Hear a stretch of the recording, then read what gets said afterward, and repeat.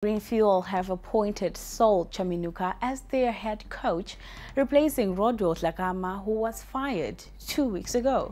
The appointment comes less than 72 hours after Chaminuka took charge of Bikita Minerals' 1-0 defeat to log leaders Manica Diamonds at Sakubva on Sunday.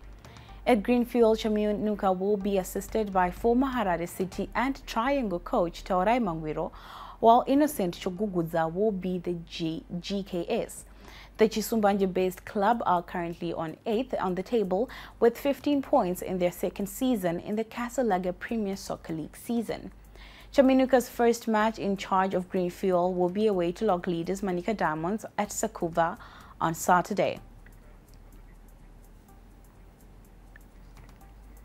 Konapo Konapo, Ipapo Ipapo pa ZTN Prime, DSTV channel 294, the place to be.